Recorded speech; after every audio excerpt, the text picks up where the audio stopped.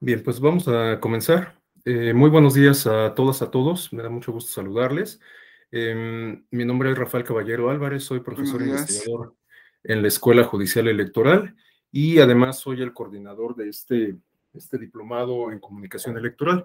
Eh, me hubiera gustado darles la bienvenida desde la primera sesión que compartieron con la maestra Alma Verónica Méndez, pero ese día también tenía clase programada y aunque mi intención era solamente ocupar cinco minutos de esa primera sesión para presentarme con ustedes, presentar a la, a la maestra Méndez, eh, bueno, lo cierto es que tuve, eh, bueno, no yo, sino el equipo de tecnologías educativas tuvo algunos problemas de conexión y se retrasó mi sesión, por eso es que ya no pude yo acompañarlos en la que impartió la, maestra Méndez. Pero bueno, pues ahora subsano esa, esa falta, me presento con ustedes y eh, me pongo a su disposición, a sus órdenes. Voy a tener el enorme honor de compartir con ustedes eh, un par de, sesiones, bueno, de hecho son en, total cuatro sesiones que vamos a compartir juntos en, eh, de este diplomado, la que nos convoca el día de hoy, dos sesiones que van a estar dedicadas a la educación cívica y las nuevas tecnologías, y la última sesión, la sesión de cierre, en donde vamos a realizar una actividad que consiste más bien en ver una o en consultar una actividad académica previamente grabada, eh, identificar de, algunos de los puntos medulares de esa discusión académica y discutirlos. Esa sería la dinámica de la última sesión. Bueno, dicho esto, eh, vamos a, comenzar con la sesión del día de hoy que eh, se refiere a las redes sociales en la democracia. Bueno, el tema es muy sugerente y además muy amplio. Así planteado en abstracto, pues nos daría como para debatir prácticamente todo el día y ni así agotaríamos naturalmente el tema, ¿no? De, eh, las redes sociales en la democracia. Lo cierto es que el avance tecnológico, eh, pues plantea retos, dilemas interesantes a los sistemas políticos y en particular a la democracia. Hay algunos autores que incluso consideran que el avance tecnológico eventualmente puede colocar en vilo a la propia democracia. Eh, pero bueno, pues esto lo vamos a, abordar eh, más detalladamente a lo largo de los siguientes minutos. Bueno, eh, veo que somos muy, muy, un grupo muy compacto. Eh, eso pues puede resultar muy positivo en aras de privilegiar la discusión, el debate. Eh, este les pido que lo observemos, igual que todas las demás sesiones del diplomado, como un espacio estrictamente académico y en ese sentido pues podemos tener eh, libertad absoluta como para expresar nuestras opiniones, evidentemente en un marco de respeto, ¿no? Bueno, dicho esto, lo complemento solamente señalando que eh, con independencia de que yo eh, pueda hacer algunas pausas exprofeso para abrir el debate, la discusión, pedirle sus opiniones, eh, consultar si alguien tiene alguna intervención, les pido por favor que con independencia de eso, si alguien desea hacer alguna intervención, plantear alguna inquietud, algún apunte, complementar algo de lo que estoy comentando o incluso refutarlo, bueno, pues siéntase por favor con la absoluta libertad de hacerlo. Para esto únicamente les pediría que abran su micrófono para que les podamos ceder el uso de la voz o bien con esta herramienta de la manita, pues también me solicitan la palabra. También eh, procuro estar atento a los comentarios que escriben en la caja de, comentarios, en el chat, pero a veces, la verdad, les soy, les soy franco, eh, me cuesta un poco de trabajo porque pues me, me desconcentra un poco. La verdad es que bueno, pues yo soy todavía parte de una generación que no es multitask y nos cuesta un poco de trabajo estar en, distintos, en distintas pistas, ¿no? Bueno, veo gente eh, em, de distintas, de distintas edades. Eh, por ejemplo, Cecilia Soto, me parece que es, muy joven. Este, tenemos algunos compañeros que, pues, por lo menos son contemporáneos de su servidor. Esto siempre eh, resulta enriquecedor. El hecho de que tengamos un grupo eh, diverso, pues, puede enriquecer el proceso de aprendizaje. Bueno, Dicho, dichas todas estas consideraciones, eh, vamos a comenzar con la exposición. Yo siempre suelo apoyarme en algún material didáctico y como les decía, pues estoy más hecho a la antigüita. Eh, las presentaciones de Prezi todavía no, no eh, las, las manejo del todo. Este, y las presentaciones que suelo utilizar son más bien de PowerPoint. Me parece que estas, esto, este tipo de materiales didácticos, pues justamente cumplen con ese propósito, ¿no? De fortalecer, digamos, el aprendizaje en términos de, de didáctica, ¿no? De, de, contar con un elemento visual, con un elemento de apoyo y en ese sentido, bueno, es que siempre suelo apoyarme de estas, de estas este, presentaciones. Bueno, entonces denme un segundo para compartirles la pantalla. Ah, también les adelanto, vamos a, revisar un par de, videos, videos muy breves, por supuesto, de unos cuantos minutos, para puntualizar algunos de los aspectos que forman parte de, pues de la estructura de esta exposición que he dispuesto para compartir con ustedes. Bueno, eh, ahora sí les comparto la presentación.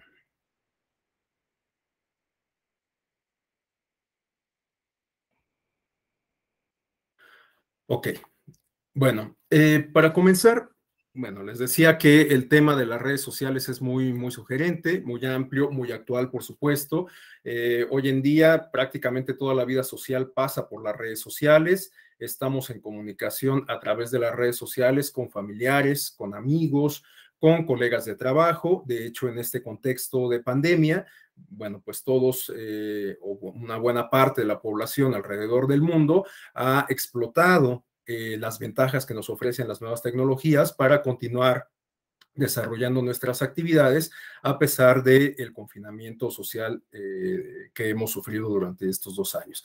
De tal suerte que el teletrabajo, la educación a distancia, como este espacio que estamos ocupando precisamente, son muestra de cómo hemos aprovechado estas nuevas herramientas o estas herramientas que devienen del desarrollo tecnológico en beneficio de nuestras actividades profesionales o de nuestras actividades eh, sociales en general, eh, a través de Facebook, a través de las videollamadas, en este contexto de pandemia pudimos estar en comunicación con eh, familiares y amigos a pesar de pues no poder eh, visitarnos, de, no poder establecer contacto físico, ¿no? Bueno, esta es una realidad eh, rampante, es algo que es evidente, que incluso hemos llegado a normalizar, Hoy en día, pues no reflexionamos mucho acerca del uso de las nuevas tecnologías y justamente ese es el propósito o uno de los propósitos de estos módulos que abordan eh, las nuevas tecnologías, en particular las redes sociales e Internet. Porque, eh, pues, insertos en una dinámica de comercialización, de capitalismo, etcétera, lo cierto es que hemos eh, nos hemos apropiado de estas nuevas tecnologías, las hemos incorporado a nuestra vida cotidiana, nos hemos familiarizado con ellas, pero quizás no hemos reflexionado lo suficiente acerca de lo que implica el uso de esas redes sociales. Les decía que vamos a dedicar un módulo más adelante a la educación cívica, porque lo cierto es que las redes sociales eh, puede que sean o que en las redes sociales se vea reflejada eh, el eh, se vean reflejados los valores de la sociedad, ¿no? Si ustedes tienen cuenta de Twitter, eh, que creo que es la red social que, más nos puede servir para ilustrar lo que voy a decir, se darán cuenta de que la conversación pública se construye de una manera beligerante a través de Twitter, ¿no? Basta con que ustedes digan buenos días en la red social de Twitter como para que tengan un montón, una oleada de comentarios cuestionándole su saludo o bien eh, respondiéndoselos, ¿no? Eh, pero bueno, esta, esta, estas réplicas, les digo, en muchas ocasiones tienen este carácter como belicoso, como peleonero, ¿no? Como rijoso. Eh, y, y, eso pues puede que sea parte o que sea reflejo de la sociedad, como les digo. Finalmente, muchos de los problemas sociales que tenemos, la delincuencia, la inseguridad, la violencia, entre muchos otros, eh, tiene que ver con esto que los, eh, los especialistas llaman como el resquebrajamiento del tejido social, ¿no? Y bueno, pues eso puede tener también una manifestación en el mundo digital. Entonces, bueno, puede ser que lo que eh, escribimos, lo que posteamos en Twitter, en Facebook, en Instagram, sea simplemente un reflejo de la manera en que nos comportamos, la forma en que interactuamos entre nosotros, entre nosotras, en el mundo físico. Simplemente lo trasladamos al mundo virtual. Pero bueno, este es, digamos, un, aspecto eh, que, nos llama a la reflexión dentro de la amplia gama de aristas que nos tendría que llamar a la, reflexión, pero para ir acotando eh, esta discusión, que les digo puede ser sumamente amplia y tomarnos muchos, eh, mucho tiempo, lo que yo les propongo para desarrollar en esta sesión es que en la primera parte revisemos algunos aspectos que podríamos considerar como premisas o como eh, bases conceptuales que nos permitan colocarnos en la misma frecuencia respecto a lo que significan las redes sociales, sobre todo las redes sociales digitales.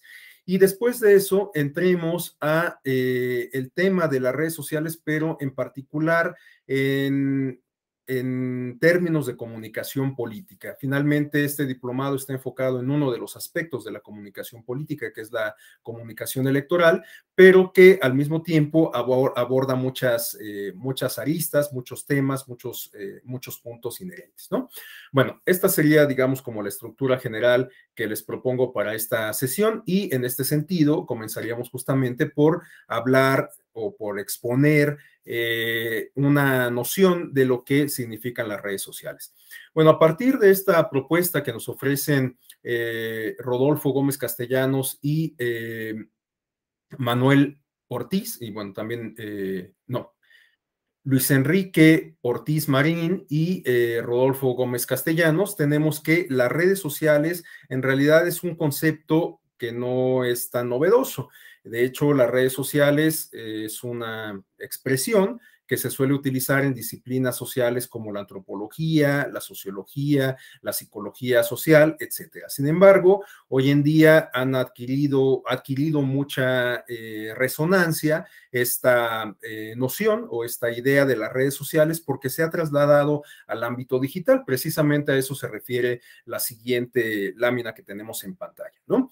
Eh, si bien las redes sociales, como les digo, han existido desde hace mucho tiempo para explicar alguna forma en particular de articulación, de relación, de vinculación entre las personas que formamos parte de una comunidad, lo cierto es que hoy se nos ha o se ha vuelto muy común el referir eh, o el utilizar, mejor dicho, el concepto de redes sociales para referirnos a una forma igualmente de interacción humana, pero ahora trasladada al ámbito digital.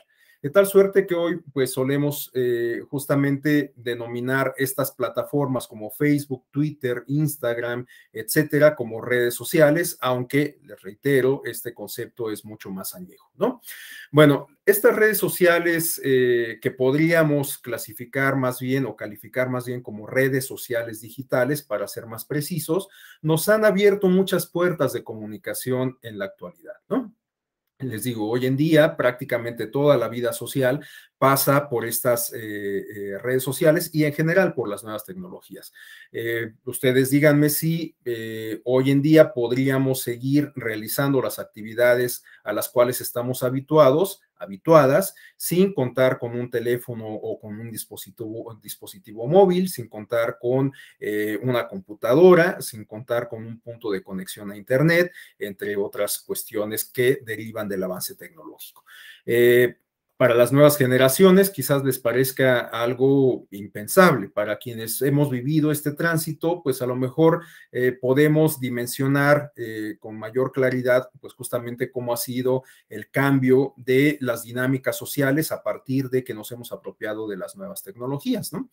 Pero bueno, pues para las nuevas generaciones a lo mejor es absolutamente impensable el poder desarrollar las actividades cotidianas, las actividades profesionales, las actividades académicas sin eh, tener este apoyo de las nuevas tecnologías. Y bueno, en particular les decía que las redes sociales nos han abierto muchas puertas para la comunicación.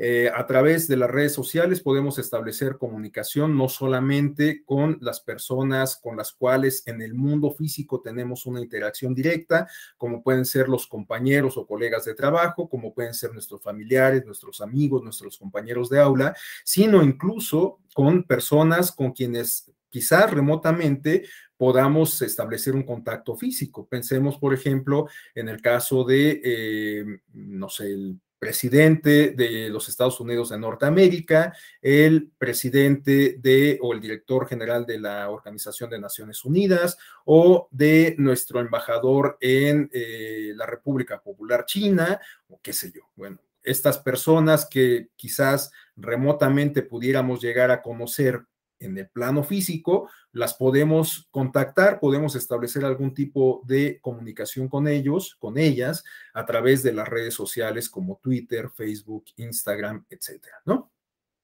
Y bueno, esto resulta sumamente importante porque evidentemente amplía las, eh, em, los campos, digamos, de comunicación, pero también porque nos, eh, con esta amplitud de la comunicación, también lo que observamos es un cambio de dinámica en los circuitos de comunicación.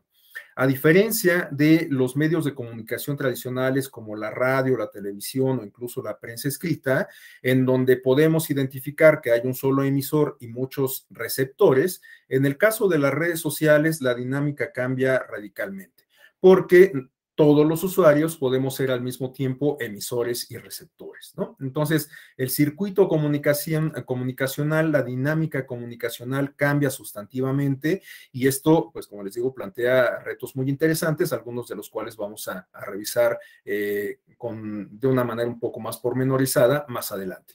Pero bueno, lo cierto es que eh, la llegada de las redes sociales ha abierto la comunicación en un mundo infinito de posibilidades. Y eh, bueno, solo como para complementar esta, esta idea, habrá que recordar para, o, comentar para aquellas personas que quizás no, no, conozcan mucho los antecedentes de, eh, de, de, las redes sociales y de su inserción en el formato 2.0 de Internet, conviene recordar o mencionar que originalmente Internet fue diseñado con un propósito más bien como de seguridad nacional. Eh, reitero, para las personas que no lo sepan, o para quienes lo sepan, pero eh, eh, no estén tan involucradas en el, en el tema, conviene señalar que el desarrollo de Internet deviene o encuentra su origen en un proyecto del Departamento de Defensa de los Estados Unidos que nace desde los años 50. El propósito era más bien establecer eh, un mecanismo de comunicación entre distintos puntos remotos de las agencias estatales, en particular de la Agencia de Defensa de los Estados Unidos.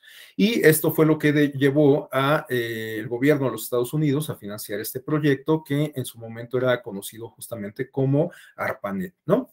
Eh, era una agencia bueno, las siglas en inglés no las recuerdo ahorita eh, al pie de la letra, pero si no mal recuerdo era Advanced Research eh, Project Agency, ¿no? Algo así, que se refería pues justamente a una agencia de investigación avanzada eh, que dio origen a el Internet.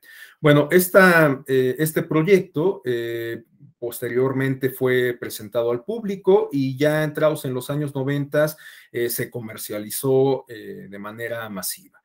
Para quienes justamente vivimos esa etapa, recordaremos que en el origen Internet era más bien como una mm, suerte de repositorio, lo estoy planteando en términos eh, demasiado, eh, demasiado simples, pero era como una suerte de repositorio porque en realidad los usuarios teníamos únicamente la posibilidad de consultar información en los portales que en ese entonces estaban disponibles. Yo no sé si ustedes se acuerdan, por ejemplo, de esos portales que tuvieron mucho éxito en los años 90 como Yahoo, que siguen estando vigentes, pero ya no tienen el mismo, eh, el mismo arrastre. Eh, Yahoo, Star Media, entre otros, ¿no? Y bueno, pues eran espacios en donde los usuarios entrábamos para consultar información. Bueno, a partir de los noventas, lo que observamos es un boom, eh, un crecimiento exponencial de Internet y del mundo de posibilidades que trajo consigo.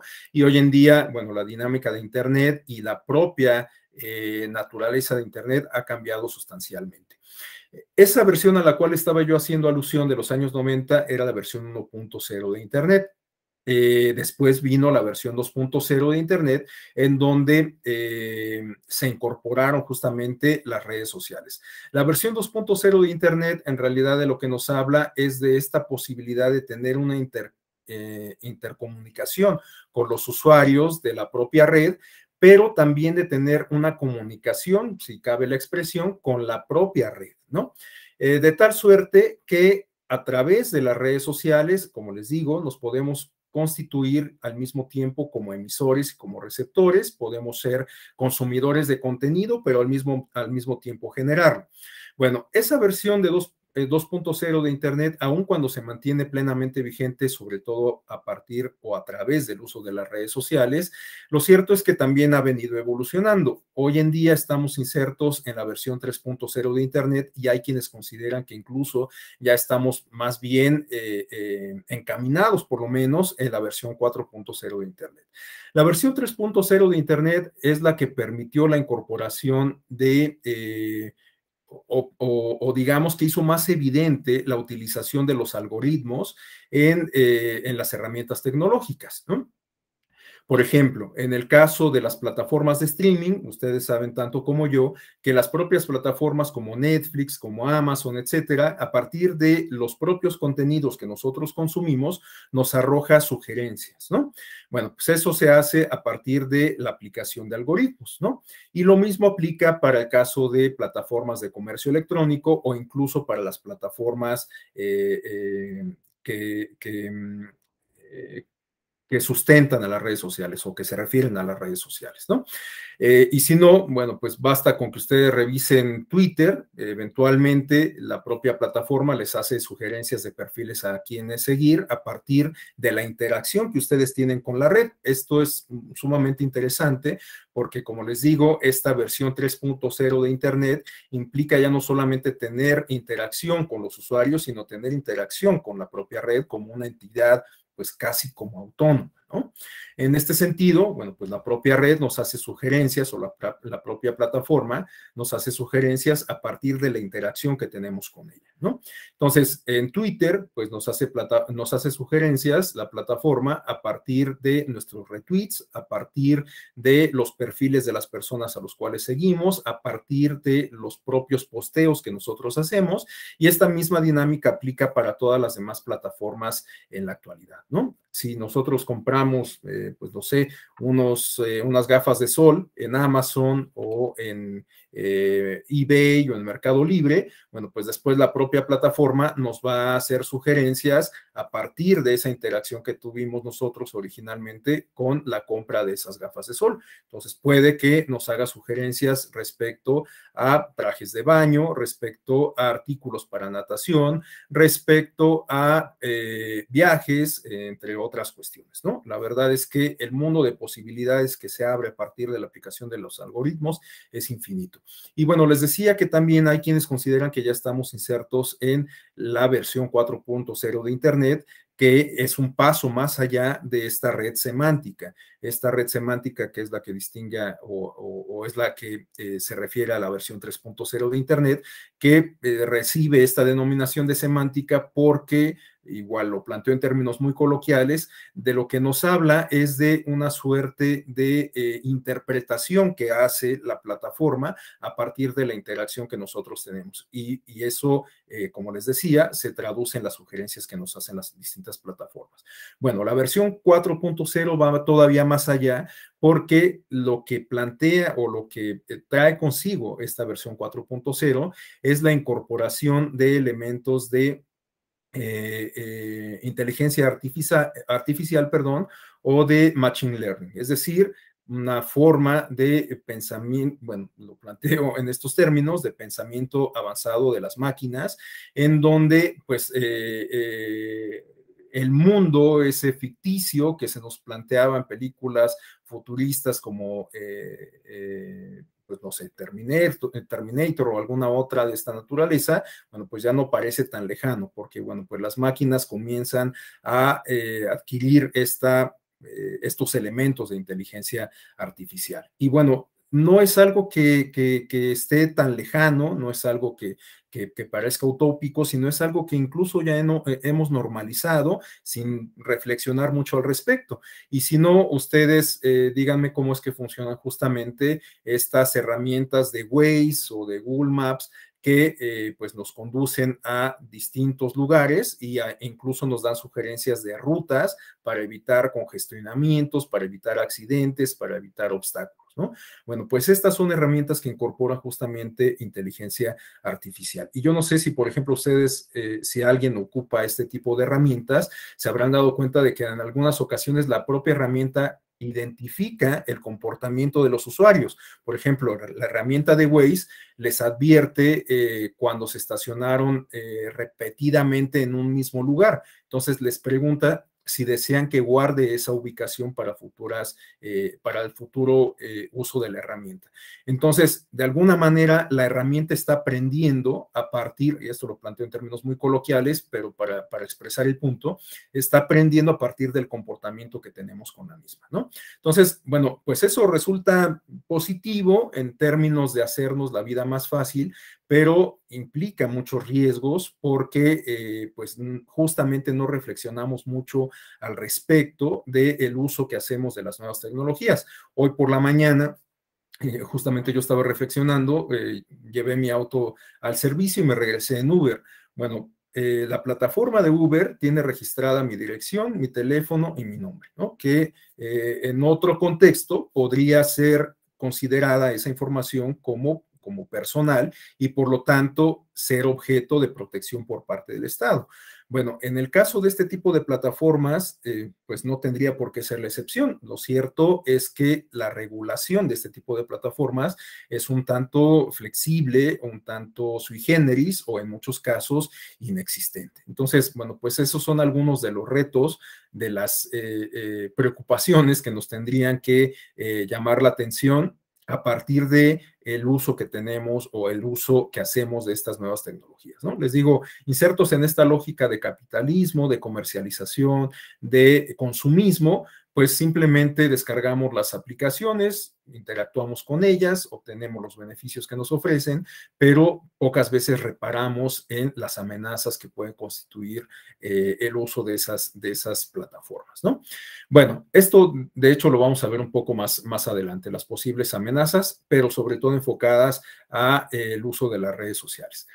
Bueno, este, les decía, una vez que hemos eh, planteado algunas premisas básicas de eh, lo que se refiere a las redes sociales y eh, lo que podemos entender por redes sociales digitales. A continuación tenemos estas, estas tres aristas que son las que me interesa desarrollar con ustedes en esta sesión. Eh, les digo, puede haber un mundo infinito de temas, de puntos a tratar de las redes sociales pero eh, en particular eh, quisiera que nos enfocáramos en estas tres. Bueno, las redes sociales nos pueden servir en primer término como medios de comunicación masiva, orgánica, como ya lo comenté, ¿no? A partir de la llegada de Facebook, de Twitter, de Instagram, hoy en día TikTok y quién sabe que venga eh, más adelante, bueno, pues la gente puede comunicarse de distintas maneras sin que la, cuestión del idioma, la cuestión de las barreras geográficas, de las distancias, del tiempo, en función de que el Internet puede ser atemporal. Bueno, ninguno de estos elementos constituye un óbice, un obstáculo para la comunicación humana a partir del uso de las nuevas tecnologías y en particular de Internet.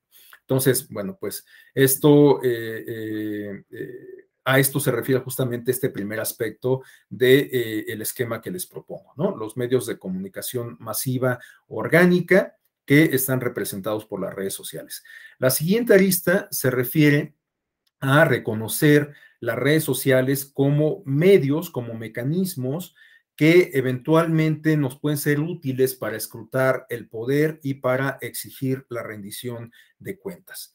Eh, esto lo vamos a, comentar con mayor detalle mucho, un poco más adelante, pero eh, lo cierto es que las redes sociales pueden convertirse en un arma muy poderosa para alentar la participación política y sobre todo para establecer límites a el ejercicio del poder y también para eh, exigir eh, la rendición de cuentas de las personas que se supone representan nuestros intereses, ¿no?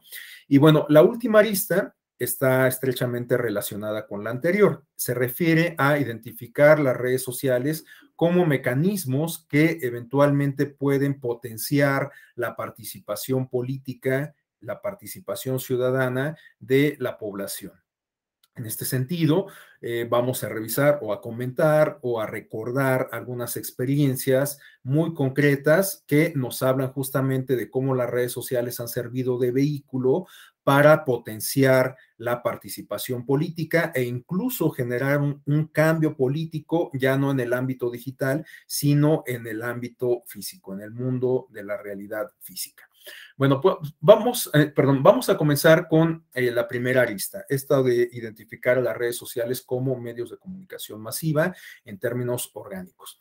Bueno, algunas de las características que distinguen a las redes sociales es que nos permiten justamente establecer una cercanía a través del mundo virtual con distintas personas, ¿no? Ya les decía yo, en este contexto de pandemia, a partir de las videollamadas, de estas herramientas de Zoom, de Google Meet, de este, em, eh, pues las propias, los propios textos que podemos escribir en Facebook, en Twitter, etcétera, en WhatsApp, pues podemos estar en comunicación con eh, distintas personas de manera remota, ¿no? Esta es una realidad que pues ya habíamos adoptado de alguna forma desde antes de la pandemia, pero que se hizo mucho más evidente a partir de la misma. Por otro lado, tenemos que las redes sociales también pueden ser una herramienta para la vinculación profesional. Eh, hay algunas redes sociales incluso que tienen este matiz particular, como puede ser, por ejemplo, LinkedIn, ¿no? A través de esta plataforma uno puede establecer contacto con colegas, con personas que eh, tienen intereses comunes, a partir de eso plantear algún tipo de proyecto, sumarse a alguna causa, entre otras cuestiones, ¿no? Por otro lado, las redes sociales también pueden alentar eh, o pueden contribuir a que haya una más evidente y más sólida articulación de esfuerzos entre integrantes y organismos de la sociedad civil. Eh, de hecho, bueno, este elemento en particular lo vamos a ver un poco más adelante con mayor detalle cuando revisemos cómo las redes sociales pueden servir como un mecanismo que potencia la participación política. Por otro lado, tenemos que también a través de las redes sociales se pueden promover campañas políticas e institucionales hoy en día. Y esta este tema para el caso mexicano reviste particular importancia porque el tema de las redes sociales no está regulado en nuestro país eh, en términos de comunicación política. Y esto eh, resulta eh, muy interesante si tomamos en consideración que en México tenemos un modelo de comunicación política sumamente intrincado que busca regular el acceso a radio y televisión, no solamente de los actores eh, políticos por antonomasia, como pueden ser los partidos y los candidatos, sino también de los particulares. Incluso tenemos una, una prohibición constitucional para que los particulares puedan contratar o acceder a espacios de radio y televisión con fines electorales. ¿no? Esta es una, una eh, prohibición que se estableció en nuestra constitución desde la reforma del año 2007, cuando se gestó nuestro modelo de comunicación política.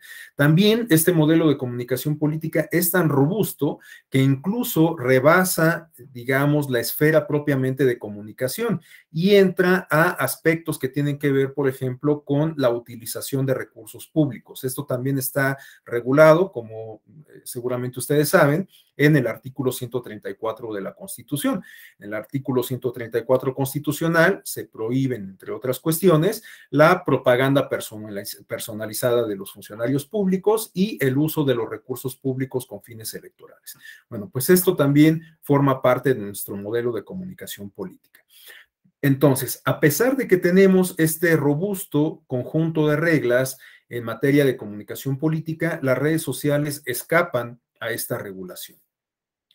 Eh, esto, bueno, pues puede tener varias explicaciones. Eh, quizás el legislador en la última reforma del año 2014 consideró que todavía no era conveniente regular las redes sociales e Internet, quizás por la brecha digital, quizás porque todavía no era tan común que se utilizaran estas redes sociales como lo, es hoy en día, no lo sabemos.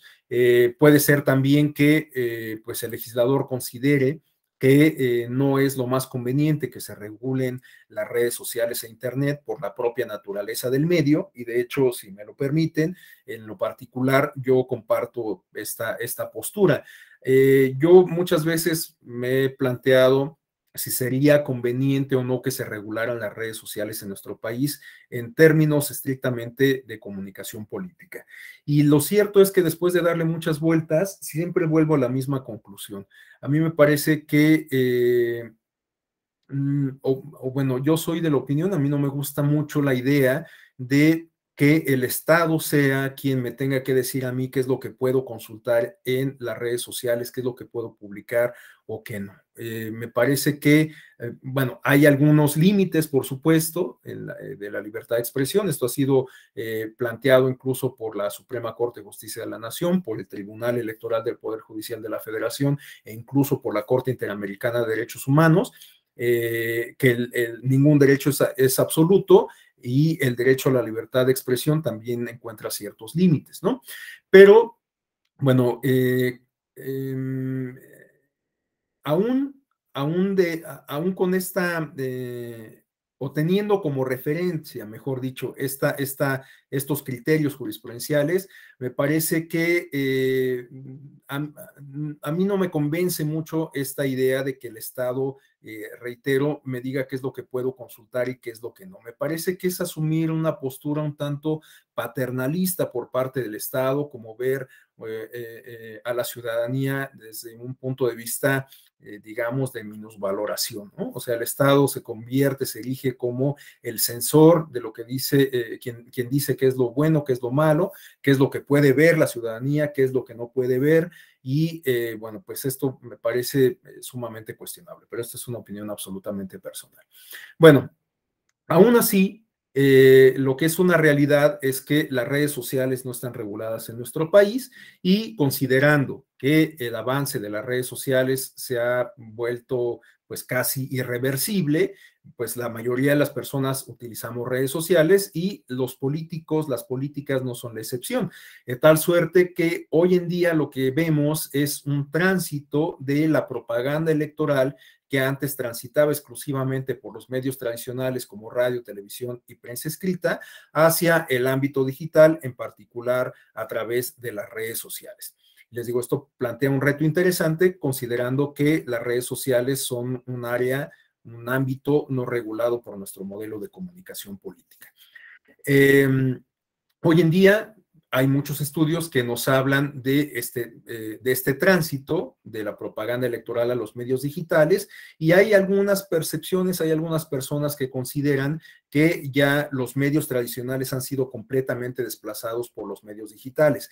Sin embargo, hay estudios que dan cuenta de que la televisión sigue siendo el principal medio de comunicación, eh, de comunicación política entre la ciudadanía. Y si no, los invito a que revisen la encuesta nacional de eh, uso de las tecnologías en los hogares publicada por el INEGI y también la ENCUSI, la encuesta nacional de cultura cívica, y se van a dar cuenta de que la televisión sigue ocupando un lugar preponderante como medio de comunicación masiva en términos eh, eh, político-electorales.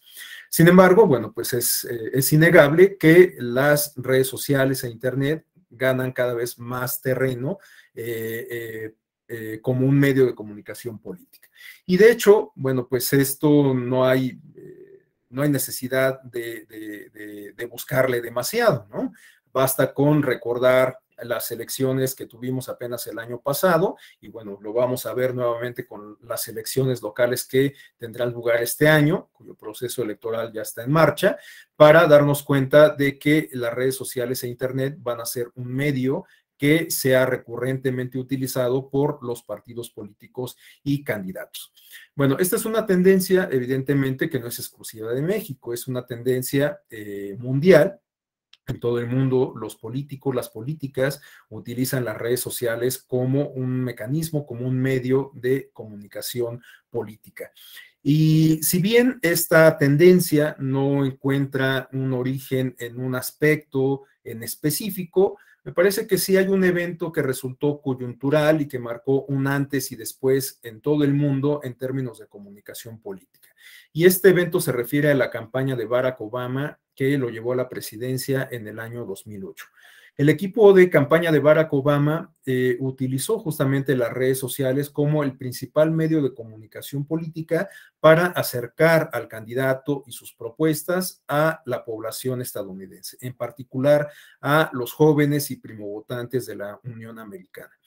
en este sentido, eh, Barack Obama utilizó estas herramientas que se refieren en la lámina, Facebook, Twitter, MySpace y el propio portal que diseñó el propio dominio de barackobama.com para establecer justamente esta comunicación con sus simpatizantes y con sus posibles votantes. Y bueno, eh, Finalmente, Barack Obama eh, terminó ganando la presidencia de la República. Eh, ustedes vean algunas cifras que se presentan en esta, en esta lámina que nos podrían eh, dar cuenta o nos permitirían, mejor dicho, considerar la campaña como exitosa, ¿no? A través de las redes sociales, Barack Obama logró recaudar alrededor de 750 millones de dólares en poco más de, eh, en poco menos de dos años, ¿no? Eh, también a través del uso de las nuevas tecnologías, Barack Obama logró que 13 millones de personas estuvieran interesadas en recibir correos electrónicos por parte del equipo de campaña del de eh, el candidato. ¿no? Alrededor de 4 millones de personas se inscribieron para recibir mensajes de texto de la campaña de Barack Obama. Eh, y alrededor de 2 millones de personas crearon su propia web a través del portal barackobama.com, además de que el candidato Barack Obama sumó alrededor de 5 millones de amigos en Facebook. Y bueno, durante su gestión también sabemos que Barack Obama era eh, muy... Eh, o un usuario muy activo en redes sociales, en particular en Twitter, y es una de las figuras más con más seguidores alrededor del mundo, incluso después de haber dejado la presidencia de los Estados Unidos. Bueno, les decía, este evento lo podríamos considerar como coyuntural porque fue la primera campaña a gran escala que utilizó las redes sociales como un mecanismo de eh, eh, proselitismo político. Bueno, este, a partir de ahí, bueno, pues lo que vemos alrededor del mundo es que justamente los candidatos, las candidatas recurren a las redes sociales e Internet para hacer campaña y ya no se limitan exclusivamente al espectro radioeléctrico como eh, la radio y la televisión. Y bueno, les decía, en el caso mexicano esto ha sido muy evidente.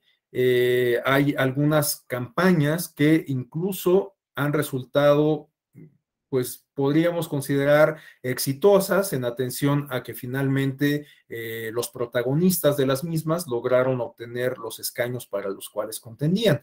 Hay muchos ejemplos, pero quizás dos de los más representativos los tengamos en eh, estos dos personajes que se hicieron en su momento de la candidatura, o mejor dicho, de la gubernatura del estado de Nuevo León. Tenemos el caso de Jaime Rodríguez Calderón, el Bronco, quien todos recordaremos que ganó la gubernatura de Nuevo León en el año 2015, postulado por la vía independiente, no con el apoyo de ningún partido político, sino por la vía independiente. En este boom que tuvieron las candidaturas independientes en el año 2015, luego de su regulación con la reforma del año previo, del 10 de febrero de 2014. Y el otro personaje es el actual gobernador de la entidad, Samuel García, quien se ha visto eh, o se vio envuelto en una polémica que incluso se judicializó, eh, tuvo que ser resuelta por el Tribunal Electoral por el uso de las redes sociales durante la etapa de campaña. Bueno, estos dos personajes son eh, personas que, han, eh, eh, que, suelen ser muy activos en las redes sociales, eh, quizás no de manera directa, me refiero a que no es que ellos mismos manejen sus redes sociales, pero por ejemplo en el caso del Bronco tenía un equipo, su equipo de campaña tenía una, una, célula especializada que se dedicaba a el manejo de las redes sociales, ¿no? Un equipo de community management. Y en el caso de eh, Samuel García, bueno, pues él eh, sí es, eh, em, maneja personalmente sus redes sociales, no sé si lo sigue haciendo ahora que ganó la gubernatura, pero como senador y como candidato, él manejaba sus propias redes sociales. Pero aquí, en el caso de Samuel García, tenemos que el principal apoyo o el bueno, el, principal, eh, eh, bueno, el principal apoyo no era de sus propias eh, de sus propias redes sociales, sino que provenía de las redes sociales de su esposa, de Mariana Rodríguez, quien es una influencer sumamente conocida, una persona que se dedica justamente a generar contenido en redes sociales, que hace recomendaciones de belleza, de reseñas de lugares como restaurantes, eh, eh, spas, entre otras cuestiones, y que eh, pues goza de, una amplia notoriedad, ¿no? Entonces, bueno, Mariana Rodríguez, como seguramente ustedes recordarán, apoyó la campaña de su, de su esposo y originalmente el Instituto Nacional Electoral consideró que este apoyo había trastocado el principio de equidad en la contienda, ¿no? Porque finalmente se trataba de una persona que monetizaba, que generaba ganancias con el uso de las redes sociales y por lo tanto el hecho de que se hiciera promoción, de que se hiciera propaganda electoral en esas redes sociales, pues eh, podrían ser consideradas como un gasto no reportado, como, una, eh, eh, como un beneficio en especie no, no, no pagado, del cual se había visto o que, que le había resultado bastante útil a el entonces candidato a la gubernatura, ¿no? Bueno, em, esto, este, este fenómeno finalmente se, judicializó, esta eh, resolución que había adoptado originalmente el Instituto Nacional Electoral de imponer una multa al partido, al candidato y a la propia influencer, eh, se judicializó y finalmente la sala superior consideró que aquí había que tomar en consideración eh, las particularidades del caso concreto y atender a la circunstancia de que Mariana Rodríguez, si bien eh, ostentaba esta categoría de influencer, pues mantenía un vínculo eh, legal y afectivo con el candidato. eran esposos y por lo tanto, en opinión de la sala superior, pues lo más lógico, lo ideal, lo esperable en una relación de pareja es que pues uno apoya al otro. Por lo tanto, pues se tenía que tomar en consideración esta particularidad del caso concreto. Finalmente, la sala superior revocó eh, las sanciones que había impuesto originalmente el Instituto Nacional Electoral y eh, por lo tanto, bueno, pues estos, esta pretensión de contabilizar las menciones de Mariana Rodríguez en sus cuentas de de, Twitter y sobre todo de Instagram eh, como gastos no reportados, pues finalmente no prosperó, ¿no? Eh, la, sentencia, eh, bueno, pues está, está ahí, el Tribunal Electoral siempre está abierto a la, a la crítica, está abierto a la discusión y al escrutinio ciudadano, y bueno, cada uno, cada una de ustedes tendrá su opinión al respecto. Pero bueno, ¿qué es lo que nos interesa destacar de estos dos casos en particular? Pues justamente su recurrencia, su eh, apoyo en las redes sociales, ¿no? Finalmente estamos hablando de dos personalidades, de dos candidatos que a partir del uso de las redes sociales lograron eh, la candidatura. Bueno, por supuesto que es difícil establecer un vínculo, una relación causa-efecto entre una campaña en este caso en redes sociales, y el triunfo electoral, ¿no? Esto es sumamente eh, complicado. De hecho, pues yo me atrevería a decir que es prácticamente imposible, ¿no? Y esto no solamente hablando en términos de redes sociales, sino en términos generales de las campañas. O sea, puede que tengamos una campaña que resulte muy exitosa, que resulte muy eh, eh, reconocida por la ciudadanía, pero esto no necesariamente se ve traducido en triunfos electorales o en un incremento en la eh, emisión del voto a favor del partido o del candidato protagonista de esa campaña, ¿no? Este, pero bueno, pues eh, en primera instancia, la lógica indicaría que cuando la campaña es exitosa, bueno, pues hay más posibilidades de que el candidato o el partido que la protagonizan gane la elección, ¿no? Pero, eh, reitero, es sumamente difícil establecer un vínculo directo, causa-efecto, entre una campaña exitosa y o una campaña pegajosa, digamos, y el triunfo de los partidos y los candidatos. Bueno, este, algunos de los datos que tenemos en, la lámina resultan muy reveladores porque vean, por, ejemplo, como en el caso de Jaime Rodríguez Calderón, tenemos que el equipo de campaña tuvo el tino de identificar el target o un target en específico, ¿no? Eh, en este sentido, tenemos que identificaron que 59.806 jóvenes podrían considerarse como eh, eh, eh, primo votantes, ¿no? Y ese era el target al cual, el objetivo al cual iban a enfocar las baterías de esta, de esta campaña. Tenemos también que 81.138 que eh, tendrían 19 años para aquel, eh, aquella jornada electoral, se estrenarían en, los, en las urnas, en razón de que no habían podido votar en la elección previa del 2012, ¿no? Entonces, ese target identificado por el equipo de campaña incluía tanto a las personas que iban a cumplir los 18 años en ese eh, año 2021, 2015, perdón, como los que habían cumplido eh, los 18 años eh, en algunos, eh, bueno, algunos años previos a, la jornada electoral del 2015. Y bueno, finalmente tenemos que se contaban sufragantes entre los 20 y 34 años que sumaron 1.264.611, o sea, una cantidad bastante considerable.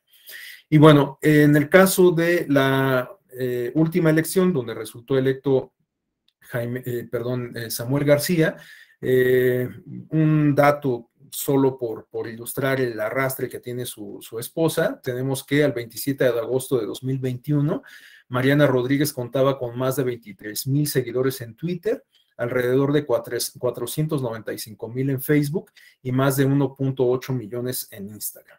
Entonces, bueno, pues es una persona sumamente reconocida que quizás pudo haber jugado un papel sumamente eh, importante, quizás determinante en el triunfo de su esposo. Bueno, eh, a continuación vamos a, comentar la segunda arista que les planteé al principio, esta que se refiere a identificar a las redes sociales como mecanismos para el escrutinio del poder. Bueno, en este caso tenemos aquí eh, algunas portadas de eh, noticias de diarios internacionales, en particular del país, aunque también aparece ahí CNN, que dan cuenta de algunos eventos que eh, guardan relación justamente con el uso de las redes sociales y las denuncias respecto a determinados comportamientos de ciertos funcionarios públicos a través de las mismas, ¿no? Eh, yo no sé si ustedes recuerden estos casos eh, que, a los cuales se refieren los dos recortes que aparecen en la parte superior de la, lámina. Eh, son dos casos que tuvieron lugar durante la gestión del presidente Enrique Peña Nieto. En el primero de ellos, quien se vio envuelto en esta polémica era el director general de la Comisión Nacional del Agua. Eh, lo que sucedió acá fue que el titular de esta dependencia, quien eh, vivía en, un municipio del Estado de México, si no mal recuerdo, en Lucan, había utilizado un vehículo oficial, un helicóptero del gobierno federal, para trasladarse de su domicilio en esta entidad o en este municipio del Estado de México eh, para trasladarse de ahí a el Aeropuerto Internacional de la Ciudad de México y ahí abordar un vuelo comercial.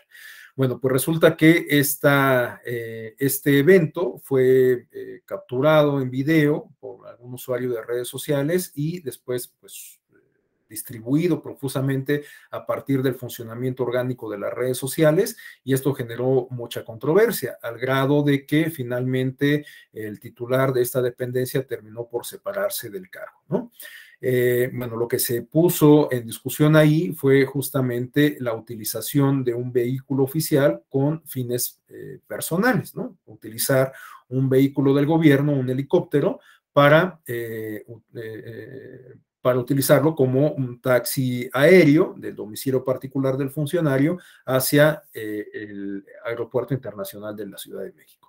El otro caso que está referido en la lámina se refiere a eh, eh, o, consistió en la difusión de una situación en la que se vio envuelta no una funcionaria pública, sino la hija de un funcionario público. Estamos hablando de la hija de quien ese entonces era el titular de la Procuraduría Federal del Consumidor. Lo que ocurrió fue que la, persona en cuestión, la hija de este funcionario, acudió a un restaurante y al parecer no eh, le otorgaron el lugar que ella esperaba, eh, además de que la, hicieron esperar en, la, lista de espera porque estaba muy concurrido el lugar y bueno, pues ella posteó su inconformidad. Pero fíjense cómo, cómo se dio la situación. Ella escribió su inconformidad en su red social y funcionarios de la, de la dependencia que la identificaron acudieron a el lugar y lo clausuraron de una manera pues arbitraria, en razón de que no había pues una razón de fondo. Eh, y eh, bueno, pues esta, esta situación se convirtió finalmente en un evento que se viralizó y que generó mucha polémica que al final, igual que como ocurrió con el caso del director general de Aguas, obligó al titular de la Profeco a dimitir, a renunciar a su cargo, ¿no? Y eh, bueno, estos, dos eventos ocurrieron durante la gestión del presidente Enrique Peña Nieto, pero actualmente pues no es que hayamos eh, abandonado por completo este tipo de actitudes que pueden ser reprochables por parte de los funcionarios públicos, ¿no? Que pueden ser una manifestación de influyentismo o de, eh, em, bueno, sobre todo influyentismo, ¿no? Entonces, tenemos un caso más reciente que se refiere a una situación en donde la entonces titular de la eh, Secretaría del Medio Ambiente eh, obligó a que se retrasara un vuelo que ya había sido cerrado y que estaba a punto de partir para que pudiera abordar. Bueno, pues esto fue denunciado por algunos usuarios de redes sociales que eran pasajeros del mismo vuelo, se convirtió en un evento viral y finalmente eh, la, titular de esta dependencia igualmente terminó siendo separada del cargo. Entonces, estos tres ejemplos que pueden resultar a simple vista un tanto triviales, en realidad de lo que nos habla es de un escrutinio ciudadano respecto a el comportamiento de los funcionarios públicos, ¿no? Y sobre todo respecto a actos que pueden resultar contrarios a una lógica de ética pública, a una, a una lógica de eh, em, em, de profesionalismo a una lógica de eh, democratización, porque, bueno, pues eh, cada quien tendrá su, propia opinión al respecto, pero el hecho de que un vuelo comercial sea retrasado por un funcionario público, pues me parece que eh, no, no puede ser aceptable en un régimen democrático, ¿no? Puede parecer algo muy menor, muy trivial, pero eh, bueno, este tipo de cosas en realidad de lo que nos habla es del déficit de cultura política que seguimos presentando, ¿no? Y de cómo nuestra democracia pues todavía tiene muchos huecos por llenar. Bueno, este, estos son solamente algunos de, de muchos ejemplos que podemos citar de eh, respecto a las redes sociales como un mecanismo de denuncia ciudadana para este, eh, eh, para pulsar, para eh, escrutar el ejercicio del poder y el comportamiento de los servidores públicos. ¿no? Bueno, a continuación vamos a discutir la segunda arista que se refiere a, o, mejor dicho, la tercera arista que se refiere a cómo las redes sociales pueden eventualmente constituirse como mecanismos que eh, promuevan o que permitan la participación o que potencien la participación ciudadana, ¿no? En este sentido, eh, lo que vamos a hacer a continuación es revisar un video muy breve de unos cuantos minutos que nos habla de la eh, revolución egipcia. Ustedes recordarán que en los años, en los primeros años de la, la segunda década de los años 2000, el nuevo milenio, eh, se suscitó esto que ha sido considerado como la, eh, eh, la, primavera árabe, en donde países como Egipto, Túnez, etcétera, tuvieron justamente un cambio de régimen, transitaron hacia un, o por lo menos lograron derrocar un régimen autoritario y pues intentaron colocarse en la, en la ruta de la democratización. En algunos casos ha sido un tanto más complejo, pero bueno, pues por lo menos lograron ese, ese primer, dar, por lo menos lograron dar ese primer gran paso de derrocar a un régimen autoritario. Bueno, lo, eh, lo que vamos a hacer entonces es revisar este video. Este, déjenme detener la, la presentación para compartirles el video les digo, dura apenas unos, unos cuantos minutos y después de que eh, revisemos este video, si gustan, podemos abrir una primera ronda de intercambio de, opiniones, de percepciones y, este, y después continuar con la segunda parte de la exposición y quizás hacia el final de la misma abrir otros 5 o 10 minutos para el intercambio de eh, percepciones. Entonces, bueno, voy a dejar de compartir la presentación para eh, proyectar el video.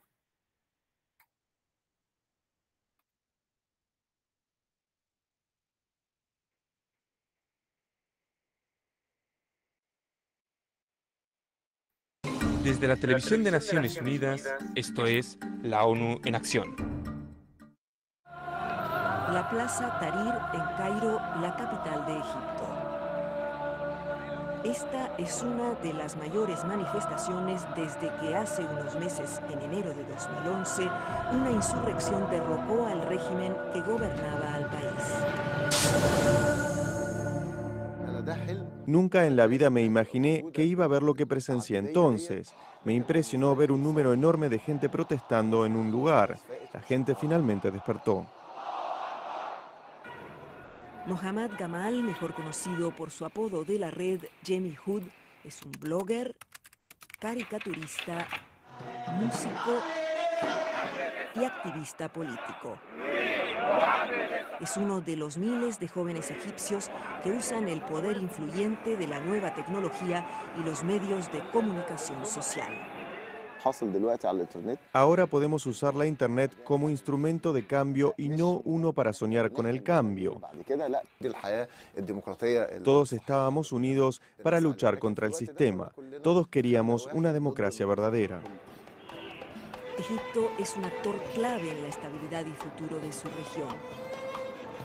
El área metropolitana de su capital, Cairo, abarca la única maravilla del mundo antiguo que queda, la Gran Pirámide de Giza.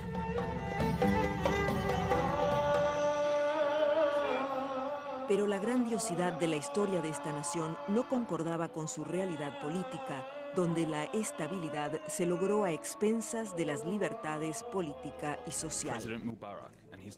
Bajo el régimen del expresidente Hosni Mubarak no era posible tener una discusión política abierta.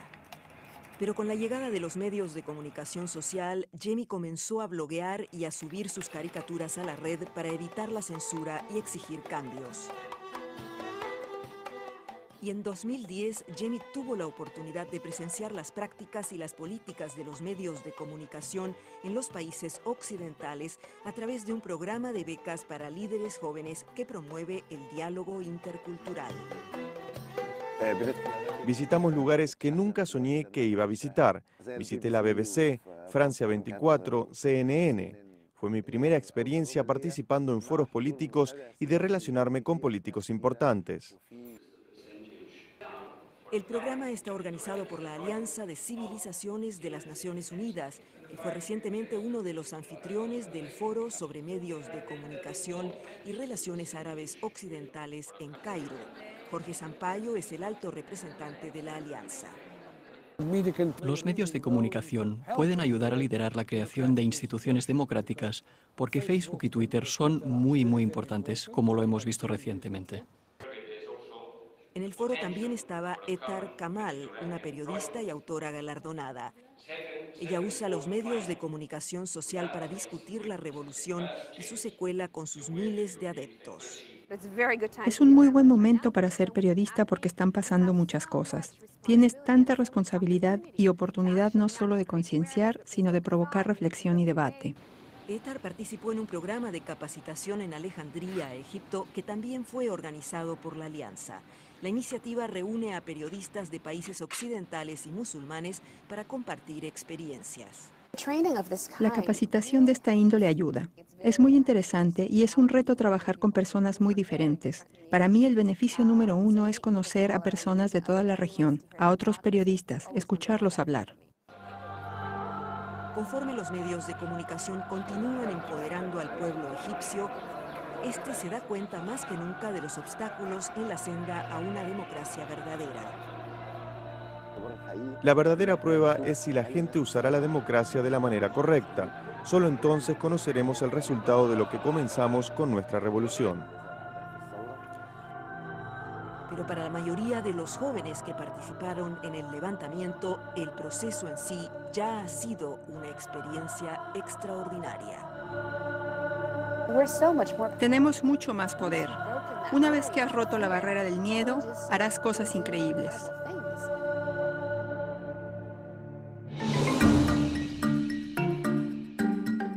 Reportaje fue producido por Camilo Freire para las Naciones Unidas.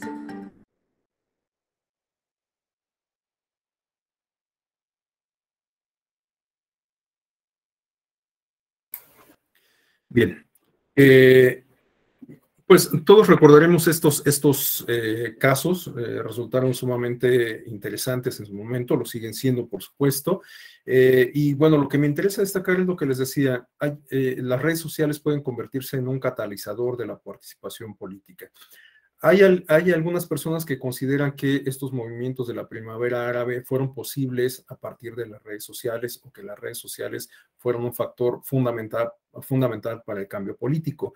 La verdad es que a mí me parece esto una exageración, como si las redes sociales en sí mismas hubieran sido un factor determinante para el cambio político. A mí me parece que esto no es así. Finalmente son unas herramientas, son mecanismos eh, que sin embargo sí eh, eh, contribuyeron significativamente a lograr ese cambio político, pero no es que en sí mismas hayan, hayan, hayan sido un factor para, para ello, ¿no? bueno, hay algunas, algunas otras experiencias en este sentido de cómo las, las redes sociales pueden contribuir a generar cambios importantes, no solamente en el ámbito virtual, sino ya en el ámbito físico.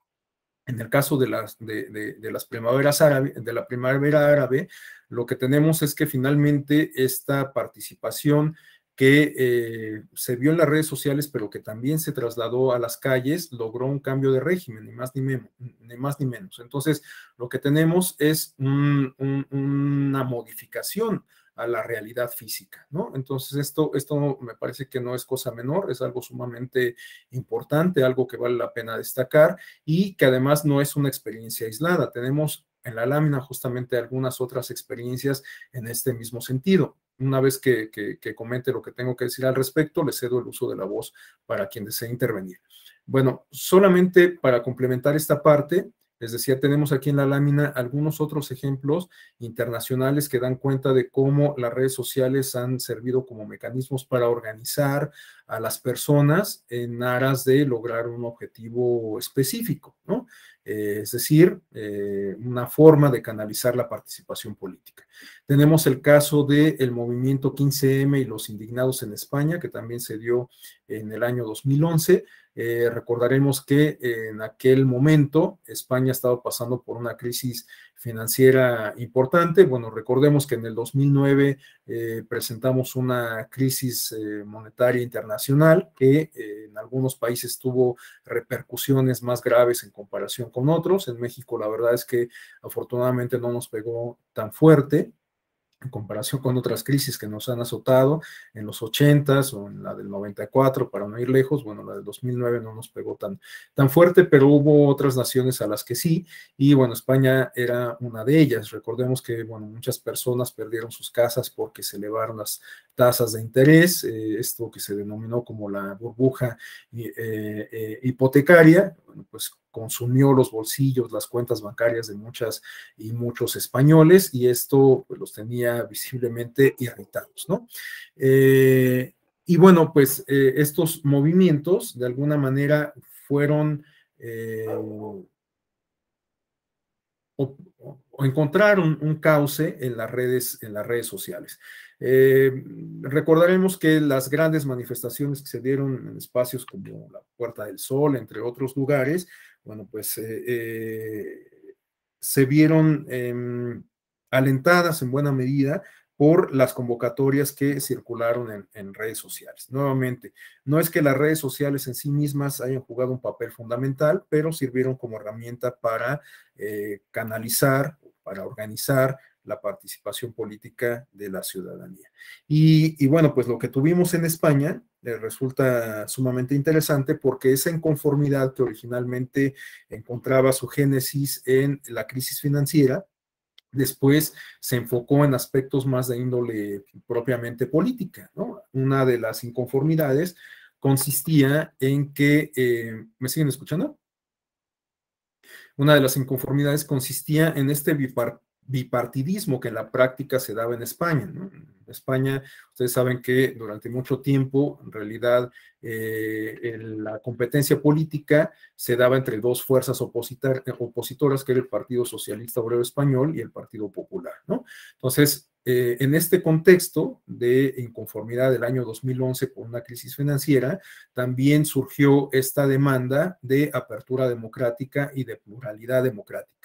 Y a partir de entonces es que eh, partidos como Podemos, este, que bueno, con, lo criticable que pueda ser, bueno, pues eh, eh, pasaron a ocupar un lugar importante como actor electoral y político en España. Entonces tenemos nuevamente que las redes sociales se constituyeron en un medio por el cual fluyó la inconformidad, la participación ciudadana y que tuvieron como repercusión un cambio político en la realidad física, ya no solamente en la realidad virtual. Bueno, tenemos también el movimiento Umbrella de China en el año 2014, en particular en Hong Kong, que también tiene una eh, arista de tipo político electoral. En realidad ahí la gente comenzó a manifestarse en contra de una reforma eh, de, tipo, de tipo electoral. Eh, en realidad, bueno, pues fue un movimiento un tanto efímero, pero que resultó significativo por lo vistoso, lo, simbólico que, resultó, ¿no? La gente salía a las calles a manifestarse, eh, eh, arropados por estos este, em, eh, impermeables amarillos y por las, las sombrillas igualmente amarillas, ¿no? Entonces, pues resultó a todas luces muy significativo que la gente, a pesar de la lluvia, a pesar de un clima eh, adverso, pues saliera a manifestarse con esta indumentaria. Tenemos también el Occupy Wall Street en Estados Unidos, igualmente en el año 2011, que eh, permitió o que se refiere más bien a la manifestación de las personas que estaban en contra de la condonación de impuestos a las grandes empresas eh, estadounidenses, ¿no? bueno, pues en los Estados Unidos en ese momento la ciudadanía promedio, el ciudadano promedio, consideraba una injusticia, eh, esto no ha cambiado sustancialmente, habrá que reconocerlo, pero bueno, pues en ese entonces se planteó como una injusticia que se condonaran impuestos a las grandes eh, corporaciones de, la Unión Americana, mientras que a el ciudadano de pie, que es un contribuyente cautivo, pues no se le condonara eh, nada o se le condonara muy poco. Entonces, bueno, pues esta inconformidad encontró su causa en este movimiento del Occupy Wall Street, que eh, eh, digamos que encontró su mayor manifestación justamente en los mercados financieros de Nueva York, pero que tuvo unas eh, réplicas importantes en otras ciudades igualmente importantes de la Unión Americana, como eh, en, Boston, en Texas y en algunas otras latitudes. Eh, tenemos también el movimiento Cinco Estrellas en Italia del año 2009. Es un movimiento que originalmente era más bien como de tipo social, estaba integrado por ambientalistas y por personas que simpatizaban con las con, los partidos eh, de, derecha, pero que también enarbolaban una bandera sumamente interesante que era este, la de los derechos digitales, ¿no? Entonces, bueno, este movimiento, que originalmente era más bien de tipo social, después se convirtió en un movimiento político y esta, eh, eh, esta denominación de cinco estrellas después fue retomada por el movimiento que se convirtió en un partido político como tal. Entonces, bueno, pues ahí tenemos como de manera eh, espontánea y eh, surgen eh, ciertos intereses de determinados sectores de la ciudadanía, se agregan y después esto permite la creación de una fuerza política, ¿no? Entonces, pues tenemos una nueva dinámica de integración o de conformación de los partidos políticos. Recordemos que una de las funciones principales de los partidos políticos es justamente agregar distintos intereses de la ciudadanía. Bueno, pues a esto no han renunciado los partidos políticos o las asociaciones que se constituyen finalmente como partidos, sino que han adoptado nuevos mecanismos para ello, ¿no? Y por último, pues tenemos dos experiencias que son más de tipo doméstico, el movimiento Yo Soy 132 eh, y el movimiento o, el fenómeno, mejor dicho, de Un día sin nosotras del año 2020. Bueno, el movimiento Yo Soy 132, todos recordaremos, encuentra su génesis en una manifestación en la Universidad Iberoamericana con motivo de una visita que hizo al campus de la Ciudad de México el entonces candidato a la presidencia de la República, Enrique Peña Nieto, ¿no? Eh, se encontró contrario a lo que incluso él mismo hubiera esperado, con una comunidad académica, una comunidad estudiantil eh, beligerante, eh, contestataria, eh, que pues para nada lo cobijó, sino al contrario, y a partir de, ese, de esa manifestación espontánea, se generó todo un movimiento social que sumó a otras eh, a otros colectivos de distintas universidades, de tal suerte que pues el movimiento creció a nivel nacional. Como casi todos los movimientos sociales, eh, finalmente mm, se diluyó. Eh, hoy en día, pues algunos de los líderes de ese movimiento se incorporaron a las filas de algunos partidos políticos, pero en su momento resultó sumamente interesante porque de alguna manera el movimiento Yo Soy 132 presionó a las eh, empresas eh, dueñas de los medios de comunicación, en particular el duopolio televisivo, para abrir espacios para la deliberación pública. Y en este sentido, ustedes recordarán que tanto Televisa como Televisión Azteca, en los primeros años de gobierno del presidente Peña Nieto, abrieron algunos espacios de discusión en donde incluso participaban algunos de los líderes de este movimiento estudiantil. Estoy pensando, por ejemplo, en eh, Antonio Atolini, que pues, bueno, ahora es integrante de Morena, pero que en su momento fue eh, un protagonista del movimiento Yo Soy 132 y que participaba en estos programas de debate de eh, los consorcios televisivos. Entonces, pues bueno, eh, puede ser que la experiencia del Yo Soy 132 haya sido efímera, puede ser que no haya encontrado eh, la forma de permanecer y de, de, constituirse como un movimiento de mayor calado, este, que por, por ejemplo pudiera sentar la base de un partido político o de algo más, más, más importante, de una red más amplia. Eh, pero bueno, pues a pesar de, que, esto no resultó así, bueno, pues no podemos restar importancia a esa manifestación que tuvo lugar en el año 2012 y que, como les digo, de alguna manera también contribuyó a la apertura de los medios de comunicación para eh, la deliberación pública, ¿no?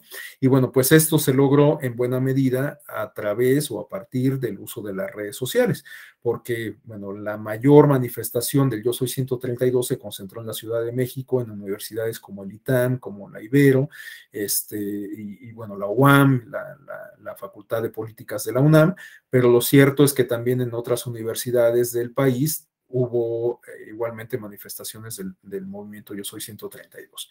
Y por último, tenemos esta experiencia de eh, Un día sin nosotras del año 2020, que, eh, bueno, aunque se replicó también en el año 2021 y 2022, resultó sumamente importante en su origen porque ustedes recordarán que todo esto se dio en un contexto en donde, pues, las mujeres justamente manifestaron su hartazgo, su inconformidad respecto a las circunstancias estructurales que las colocan en una situación de vulnerabilidad y sobre todo en una eh, situación de exposición a la violencia, ¿no?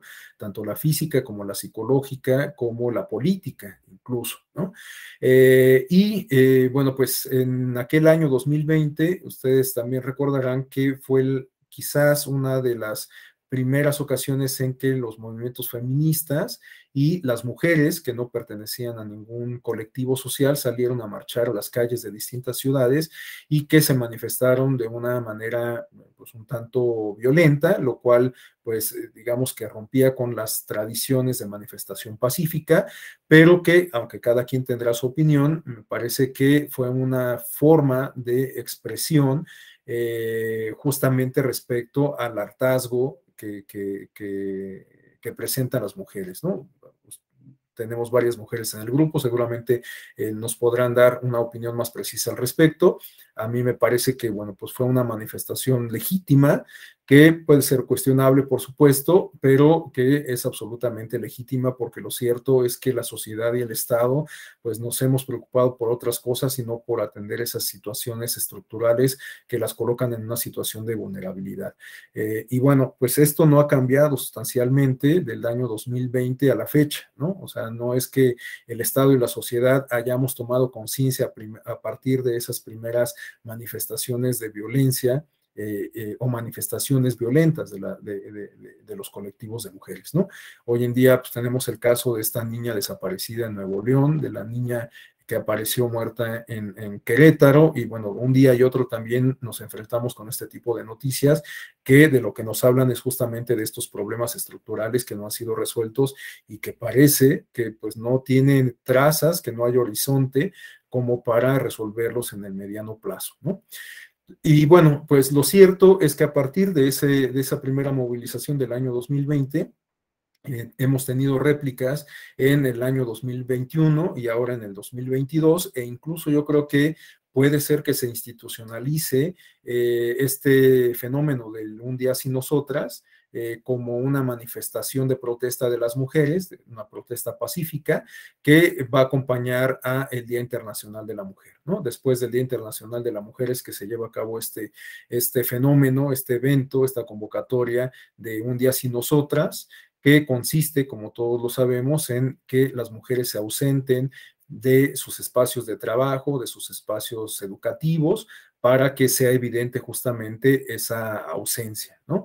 Eh, entonces, bueno, pues me parece algo sumamente interesante, simbólico, significativo, que pues nos tiene que llamar a la reflexión porque pues no, no, no, no es de, de, Oquis, sino que responde a estas circunstancias eh, em, que, reitero, las colocan en una situación de vulnerabilidad. Y bueno, pues esto se ha logrado igual en buena medida a partir del uso de las redes sociales, ¿no? Vean cómo a través de las redes sociales es que se hacen estas convocatorias para las marchas, a través de las redes sociales es que se establecen algunos parámetros para la manifestación, para trazar la ruta de los contingentes, para este, incluso eh, eh, compartir, socializar, algunas pautas de comportamiento y también algo sumamente importante, para denunciar a las personas infiltradas y para denunciar los abusos, ¿no? Porque incluso los propios colectivos de mujeres a través de sus cuentas de redes sociales han dado eh, em, eh, seguimiento a estas conductas que resultan pues, a todas luces deleznables por parte de personas infiltradas o también por parte de las instancias encargadas de la seguridad pública, ¿no? Eh, recordemos también cómo en este contexto de las manifestaciones feministas se han dado eh, pues algunas represiones en distintas ciudades que a todas luces pues resultan reprochables, ¿no? Bueno, pues las redes sociales se han convertido en un mecanismo importante para eh, la comunicación y para la distribución o la difusión de todos esos contenidos. Entonces, bueno, pues no podemos negar la importancia de las redes sociales en estos movimientos de tipo doméstico. Eh, podemos citar muchos más, pero estos son algunos de los más significativos. El Yo Soy 132 y el movimiento de las mujeres en particular para concretar esta iniciativa del Un Día Sin Nosotras. Bueno, pues ahora sí le cedo el uso de la voz antes de entrar a la parte final eh, de la exposición, en donde quisiera que viéramos el lado B del disco, ¿no? La otra cara de la moneda. Hasta ahorita hemos visto, digamos, como las, la, em, la cara bonita de las redes sociales, aquello que, resulta positivo, los beneficios que derivan de las mismas, pero ahora quisiera que identificáramos algunas de las, eh, eh, de las aristas no tan positivas, ¿no? De los, de los riesgos, de las amenazas, de los fenómenos eh, indeseados y no calculados, etcétera. Pero bueno, antes de entrar a eso, le cedo el uso de la voz a quien desee participar.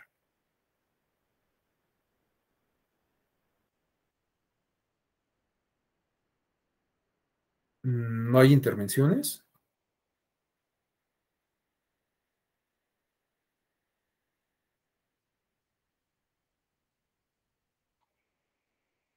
Adelante, Juan Miguel. Eh, quizá yo sumaría un caso más, maestro, que es muy reciente también, nada más como ejemplo, que fue la destitución del gobernador, bueno, la renuncia del gobernador de Puerto Rico, ya que se filtraron unos audios por Telegram y el movimiento fue también a través de las redes sociales. Gracias por el apunte, sí, totalmente de acuerdo, absolutamente, gracias. Eh, ¿alguien, ¿Alguien más tiene alguna, algún comentario? Adelante, José Hernán. Sí, gracias, maestro. Miren, eh, yo creo que la utilización de, de las redes sociales como bien lo, lo ha comentado, pueden ser este, de gran utilidad.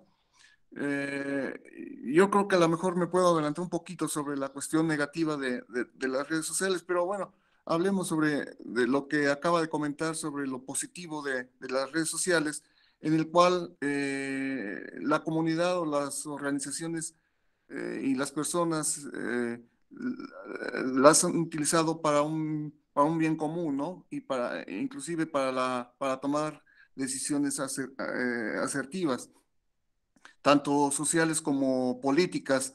Eh, los ejemplos eh, que comentó o que dio en las imágenes son bastante reflexivas para saber qué, qué, qué, es lo que vamos a, a reconocer en, en, las mismas redes sociales, ¿no? inclusive eh, se utilizan las diferentes redes sociales para, para diferente tipo de información, es decir, no es lo mismo el WhatsApp que el Telegram, o a lo mejor tiene características similares en su utilización, o que el Twitter sea utilizado por otro tipo de, de, de, información. Generalmente en Twitter la utilizan los, la mayor parte de, la, de, los, de los políticos o de los, de los medios de comunicación que a lo mejor a muchos no les importa o sí les importa porque hay gran demanda en Facebook. Eh, yo creo que ahí son más este, útiles en cuestiones de tipo, de tipo social y así nos podemos ir yendo y creo que sí es, eh, son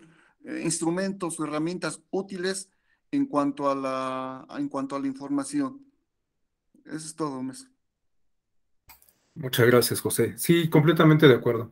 Eh, bueno, como les decía, vamos a, revisar a continuación una, una em, el lado B de la, moneda, la, otra cara de la moneda, en atención a estos eh, mismos ejes, temáticos que hemos trazado.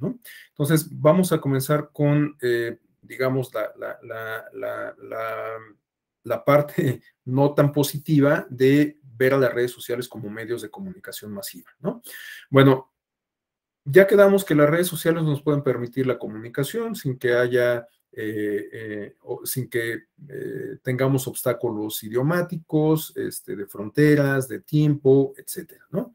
Este, bueno, comento lo de la, frontera idiomática porque pues a través de las nuevas tecnologías hoy tenemos traductores y tenemos algunas otras herramientas que nos permiten establecer una comunicación con personas con quienes no compartimos el mismo lenguaje, ¿no? Entonces, bueno, pues a través de las redes tecnologías podemos eh, eh, establecer comunicación, eh, reitero, sin que el, idioma, las barreras físicas, la distancia se conviertan en un, en un obstáculo. Bueno, todo esto resulta sumamente positivo, ¿no? Pero resulta que también hay algunos elementos que quizás no resulten tan positivos, porque hoy en día tenemos algunos fenómenos que quizás hayan, eh, podamos clasificar como indeseados o como, o como colaterales del uso y el desarrollo de las, de las redes sociales. ¿no?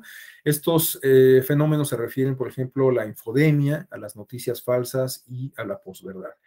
Bueno, la infodemia es definida por la Organización de las eh, Organización Mundial de la, de la Salud como un, fenómeno en donde abunda la información, ¿no? Esta, eh, este fenómeno donde abunda la información eh, puede ser sobre cualquier tema, pero el asunto es que al tener un universo tan grande de información, las personas no estamos en posibilidades de discriminar, de filtrar esa información, identificar aquella que goza de, eh, un canon de veracidad, ¿no?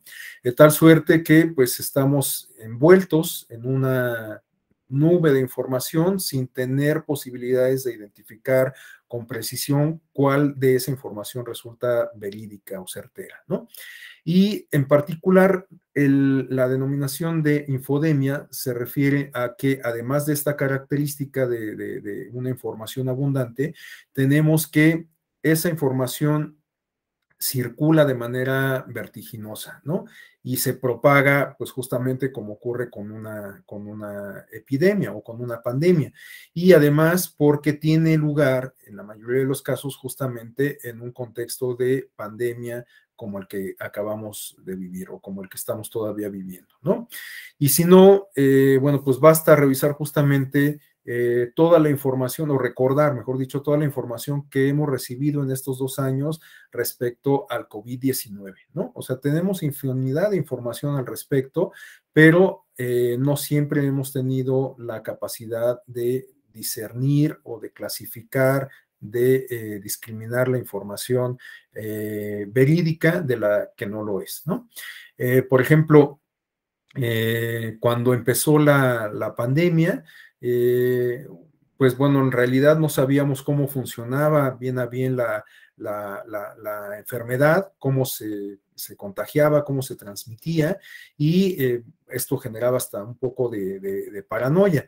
Y después, pues empezamos a caer en, en una lógica pues un tanto de, caos, un tanto de este, pánico. Yo no sé si ustedes recuerden, o bueno, si lo hayan vivido, yo casi estoy seguro que sí, porque pues, fue un fenómeno rampante, este, como en los primeros meses de pandemia eh, los supermercados eh, fueron objeto de compras de pánico, ¿no? Este, mucha gente compraba sobre todo productos enlatados, granos como arroz, frijol, etcétera, y papel de baño, yo no sé por qué, o sea, yo no sé si, ustedes encuentran una explicación al tema del, papel de baño, ¿no? Y esto porque, pues, se generó justamente eh, o circuló mucha información eh, que pues más bien motivó el pánico, el miedo de las personas, ¿no?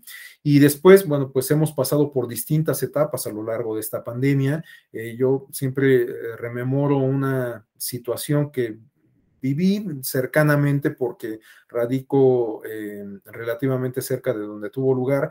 No sé si ustedes recuerden que hace un par de años, justamente como por estas fechas, como por mayo del año pasado, abril, mayo del año de hace dos años, este, en un hospital de, em, de Catepec, en las Américas, en Catepec, Estado de México, la gente ingresó de manera violenta al hospital, invadiendo áreas contaminadas y demás, porque eh, se había dejado llevar por eh, esta información que ni siquiera era oficial, por supuesto, de que en los hospitales estaban asesinando a las personas y les extraían el líquido raquídeo, ¿no? O sea, en realidad, si uno lo reflexiona, como que no, no hay ni siquiera lógica en, ese, en esos argumentos, ¿no? En ese tipo de información, pero la gente se dejó llevar por este tipo de, información que circuló profusamente, ¿no?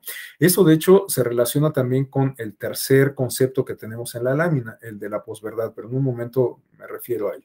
Entonces, bueno, el caso es que la infodemia se refiere a este cúmulo de información no necesariamente es que la información sea falsa, pero al tener un universo tan grande, las personas no están en posibilidades de clasificar la información, de identificar aquella que es verdadera y separarla de la falsa, ¿no? En segundo término tenemos las noticias falsas propiamente. Las noticias falsas o las fake news han cobrado relevancia últimamente, aun cuando no se trate de un fenómeno, de un fenómeno nuevo. Eh, las noticias falsas han existido desde hace muchísimo tiempo, este, eh, pero lo cierto es que ahora con el uso de las redes sociales, pues han magnificado sus alcances, ¿no? Antes, por ejemplo, las, eh, las cadenas noticiosas tenían, o bueno, siguen teniendo una línea editorial, ¿no? De tal suerte que eh, una noticia tiene que pasar por el filtro justamente de los mecanismos que eligen esa línea editorial, ¿no? Entonces, antes de sacar a la luz una noticia, pues tiene que contarse con la aprobación de quienes integran ese mecanismo de depuración de la información, ¿no? Por, porque naturalmente eh, eh, las, las, cadenas de noticias arriesgan su prestigio, arriesgan su credibilidad al tomar a la ligera la, información que emiten, ¿no? Eh, digo, no, no es por, por, por hacer leña del, del, árbol caído, pero recordemos este caso de eh, eh, que se, en el que se vio envuelto Carlos Loret de Mola a la luz de, o bueno, que se relaciona con el caso de Florence Cassés, ¿no? Bueno, hoy, hoy en día todavía Carlos Loret de Mola, a pesar de que es un periodista reconocido que ha ganado muchos premios, no ha logrado sacudirse ese estigma de cuando televisó este montaje este, en el que se vio envuelta justamente esta, esta eh, persona de nacionalidad francesa, que además generó un conflicto diplomático y que además, eh, bueno, pues colocó en una situación incómoda, por decirlo menos, a la Suprema Corte cuando resolvió el asunto, ¿no? Bueno, Carlos Lórez de Mola eh, eh, finalmente tuvo que, eh, o, se le atribuye cierta responsabilidad por haber aceptado que en su noticiero, en su noticiero de la mañana, se difundiera esta noticia aparentemente en vivo, ¿no? Bueno, pues así como ese ejemplo, en todos los casos de las cadenas noticiosas, tiene que haber alguien que autorice la emisión de la información que emite, ¿no? Pero pues esto es en los esquemas tradicionales. En la actualidad, ¿qué es lo que tenemos? Pues que como todos podemos ser no solo consumidores, sino generadores de contenido, pues ya no hay ese filtro de la línea editorial, ¿no? Entonces, pues todos podemos contribuir a generar información, pero pues mucha de esta información, al no pasar por ese filtro, pues puede eh, convertirse en una noticia falsa y circular profusamente, ¿no? Ahora, antes, eh, reitero, pues las noticias falsas existían, igual que ahora. El asunto es que con las redes sociales, la difusión de las noticias falsas, pues es mucha mucho más amplia, ¿no? Entonces, por eso es que se ha convertido en un fenómeno interesante eh, hoy en día en la era de la, de la información. Y bueno, por último tenemos el fenómeno de la posverdad. La posverdad mm, puede que se relacione con la infodemia y con las noticias falsas en algunos entrecruces. Eh, pero bueno, estamos hablando de un fenómeno un tanto distinto. En el caso de la posverdad, lo que tenemos es que eh, se difunde información, pero esta información tiene como propósito motivar un actuar de la ciudadanía en atención a activar, digamos, los aspectos emotivos de las personas, ¿no? Entonces, la posverdad no necesariamente implica la difusión de noticias falsas, puede también eh, eh, implicar la difusión de noticias verdaderas, pero la propia, la, transmisión de la información pasa a un segundo plano porque el objetivo principal consiste en activar este aspecto emocional de las personas y que actúen en consecuencia, ¿no? Por eso les decía que este ejemplo que les, les refería de la incursión de las personas al hospital, bueno, podemos identificar ahí tanto el tema de las noticias falsas, ¿no? Porque pues evidentemente no hay ninguna evidencia científica, empírica o incluso noticiosa o oficial que nos hable de que en, los centros de salud mataban a las personas y les extraían el líquido raquídeo. No hay ningún elemento que nos, que nos permita tener esa información por verdadera, por lo tanto hablamos de una noticia falsa, pero además tenemos también el fenómeno de la posverdad, porque la difusión de esa noticia obligó o motivó a las personas a que tomaran acción, en este caso que incursionaran de manera violenta en un hospital, en un nosocomio, ¿no? Incluso exponiéndose ellos mismos a adquirir la enfermedad al invadir espacios contaminados, ¿no? Bueno, entonces, en ese caso estamos hablando justamente de posverdad porque la difusión de esa información motivó a la gente a actuar en consecuencia. Y bueno, eh, en términos políticos, la posverdad eh, la podemos identificar en muchos, en muchos ejemplos, pero uno de los que me parece más ilustrativo quizás sea el caso de la toma del Capitolio en los Estados Unidos cuando se estaba llevando a cabo la eh, sesión de validación del triunfo del actual presidente Joe Biden en contra del candidato Donald Trump, que era el presidente hasta ese momento, ¿no? Ustedes recordarán que la toma del Capitolio eh, ocurrió de una manera violenta, que incursionó un contingente de personas sumamente numeroso, eh, derribó algunos de los, eh, de los elementos de ornato, esculturas, hizo grafitis, pintas, destrozos, etcétera. Y bueno, todo esto puede que se haya debido a el discurso incendiario de su candidato presidencial, de Donald Trump, porque apenas a unos metros del Capitolio, Donald Trump había llevado a cabo un meeting algunas horas antes de que se suscitara ese, ese evento violento, ¿no? En donde, todos lo recordaremos, advertía justamente de que había sido objeto de un fraude electoral, que le habían hecho trampas, a pesar de que nunca presentó las pruebas que validaran sus dichos, ¿no? Bueno, esa información finalmente era falsa, pero lo que motivó fue activar estos, este aspecto emocional, este aspecto de inconformidad, este aspecto de eh, eh, despojo en las personas para que actuaran en consecuencia. Entonces, bueno, pues ahí tenemos un ejemplo de, posverdad, pero bueno, les digo, en, en el caso de la posverdad, no necesariamente la gente actúa a partir de la difusión de noticias falsas, puede ser también a partir de información verídica. Eh, de hecho, la posverdad encuentra su punto medular justamente en esta cuestión de la información que va dirigida a el aspecto emocional de las personas, ¿no? Sea este, eh, eh, sea la información falsa o verdadera, el objetivo es el aspecto emocional de las personas para que actúen en consecuencia. Bueno, estas son algunas de las, de las posibles de los posibles fenómenos no deseados, no calculados del uso de las redes sociales que podemos por consecuencia considerar como, eh, digamos, el, eh, el, contrapeso de la cara bonita, ¿no?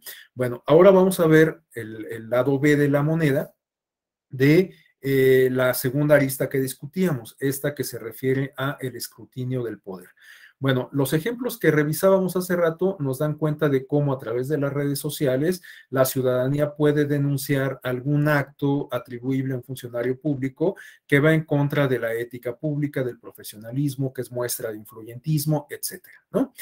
Pero eh, lo cierto es que en ocasiones cuando se difunde este tipo de información, la sociedad nos erigimos como una suerte de jurado este, em, eh, sumario, ¿no? Eh, de tal suerte que puede ser que estos personajes que se, ven envueltos en, en, las polémicas ya no sean objeto de una revisión o de una sanción administrativa, penal o qué sé yo, este, por los canales correspondientes, eh, en razón de que, eh, bueno, pues ya se considera sanción suficiente esta eh, separación del cargo motivada por la presión social, ¿no?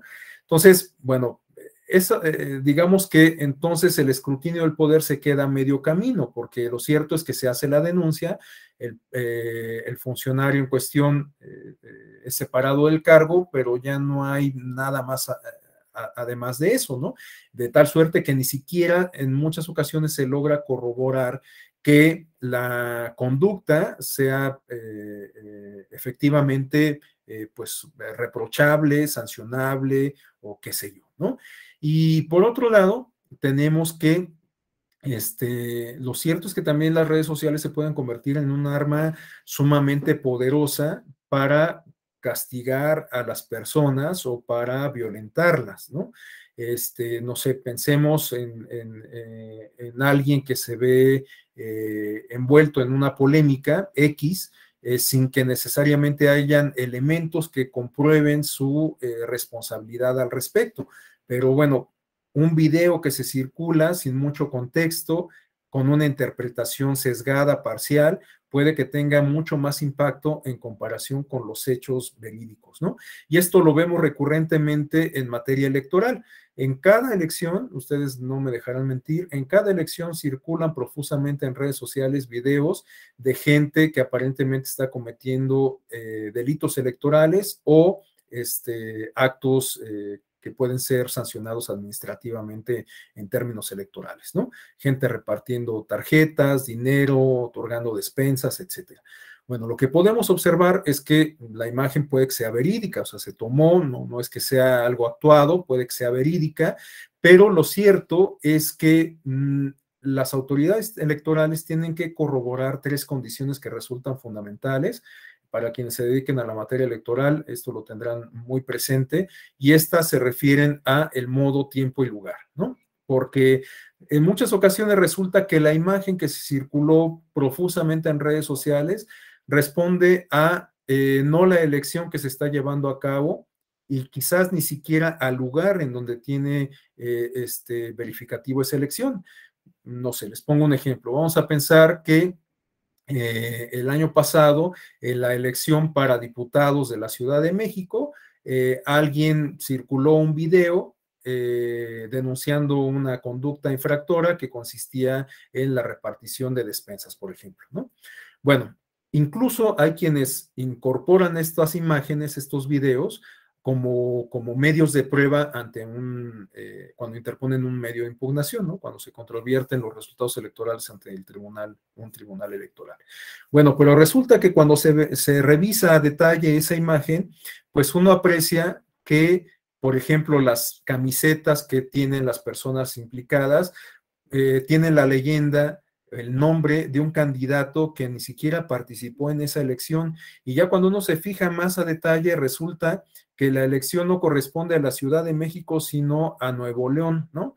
Entonces, pues ya cuando uno entra al estudio de esas, de, de esas cuestiones tan particulares, pues resulta, reitero, que esa imagen no tiene ningún, eh, ninguna relación con, eh, eh, con la elección que se está impugnando, ¿no?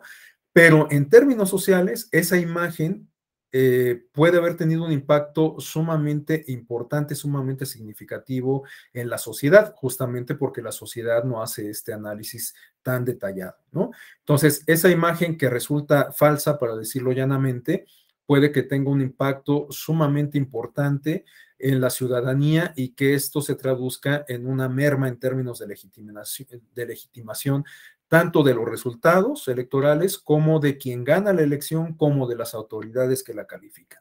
Entonces, resulta sumamente interesante este, eh, eh, este reflexionar al respecto, ¿no? Bueno, este, evidentemente, cuando se circula este tipo de información, pues eh, se carece de algún canon de objetividad y se contribuye naturalmente a la desinformación.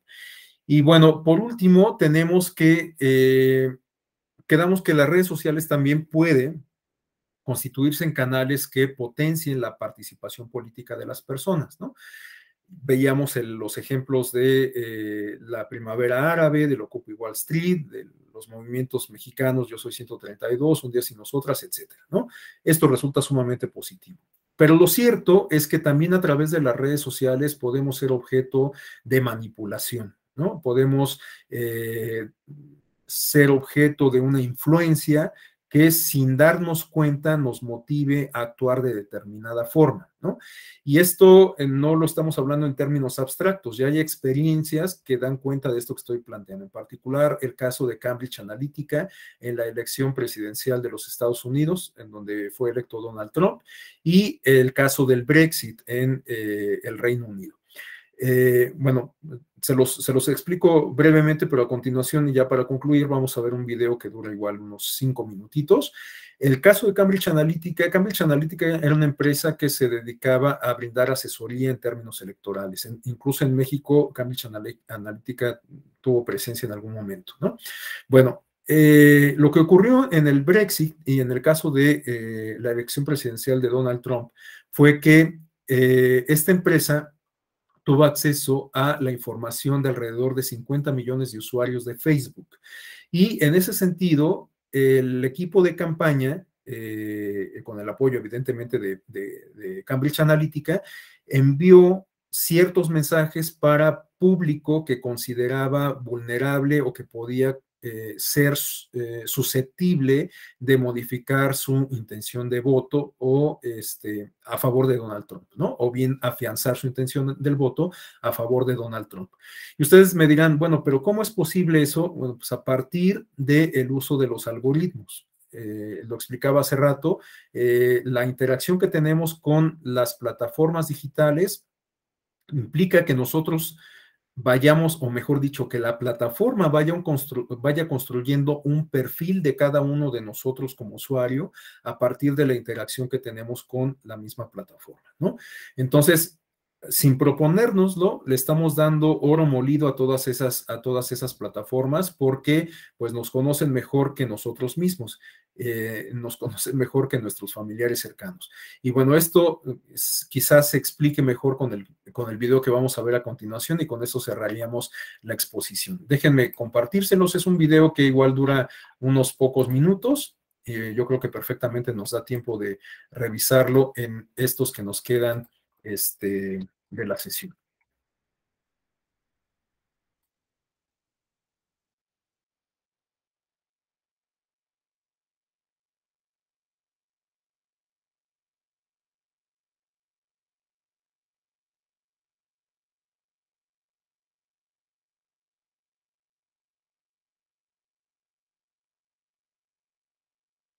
Los psicólogos definen la personalidad como una combinación de tus pensamientos, sentimientos y comportamientos. Y con cada clic, Facebook te conoce cada vez mejor.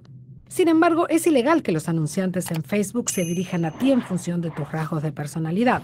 Lo que aún no es ilegal es que lo hagan en función de tus intereses, por ejemplo, a qué películas les das me gusta o a qué celebridad sigues. Pero, ¿y si hubiera otra manera?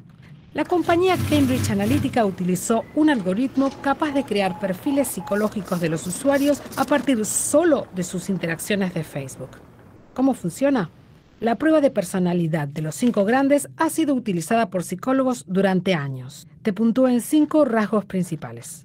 Apertura al cambio, estás dispuesto a vivir nuevas experiencias. Escrupulosidad, ¿qué tan perfeccionista eres? Extraversión, ¿te encantan las fiestas? Amabilidad. ¿Eres solidario? Inestabilidad emocional. ¿Te preocupas o te enoja fácilmente? Mezclados, estos rasgos amplios clasifican a las personas en tipos de personalidad. Por ejemplo, esta es una personalidad aventurera. Es abierta, un poco neurótica y ama la variedad. O un protector, agradable, extrovertido, piensa en los demás. O una ejecutiva, concienzuda y abierta, es una líder natural. Y el algoritmo, varios estudios dicen que es impresionantemente preciso. Con solo 10 me gusta, puede deducir qué tipo de persona eres mejor que tus compañeros de trabajo. Con 150 me gusta, es más preciso que tus padres. Y con 300 me gusta, es mejor para predecir tu personalidad que tu pareja. Pero todos los días compartimos mucho más que me gusta.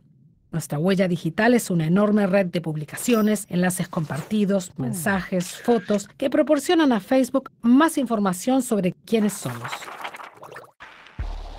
Cambridge Analytica fue contratada por la campaña del presidente Trump para las elecciones estadounidenses de 2016. El ex jefe de la compañía, Alexander Nix, afirmó antes de las elecciones que predijo el puntaje de personalidad del modelo de los cinco grandes de cada adulto en Estados Unidos. Pero ¿qué hicieron con toda esa información? En Facebook se publicaron cientos de anuncios cada día dirigidos a tipos de personalidad específicos, adaptados a los miedos, necesidades y emociones más íntimos de las personas. Por ejemplo, una de las promesas clave de Donald Trump era defender la segunda enmienda, el derecho individual a portar un arma. Entonces, el puntaje de los cinco grandes de un usuario dictaba qué anuncio aparecía en su muro. Por ejemplo, la aventurera, la persona de mente abierta, a menudo impulsiva, a veces nerviosa, podría haber visto algo como esto. Un anuncio con el mensaje de que la libertad debe estar protegida de amenazas externas. O para el protector, el guardián, un anuncio como este, que sugiere que las armas son esenciales para cuidar a los demás. Y finalmente, la ejecutiva, la planificadora de pensamiento racional, recibe un mensaje sobre cómo proteger a su familia y su futuro. Pero ¿puede el Big Data ganar una elección? Cambridge Analytica afirma que sí. Dice que fueron sus datos e investigaciones los que le dieron al presidente Trump el margen ganador. Pero eso es casi imposible de probar. Nadie puede rastrear en retrospectiva quién votó de qué manera debido a qué anuncio. Hay demasiadas variables. Los partidos políticos de todo el mundo considerarán las lecciones de Cambridge Analytica. Las posibilidades del Big Data están allá afuera, pero ¿cambiarán los anuncios que veas tú en las próximas elecciones? ¿Y esos anuncios lograrán cambiar tu opinión?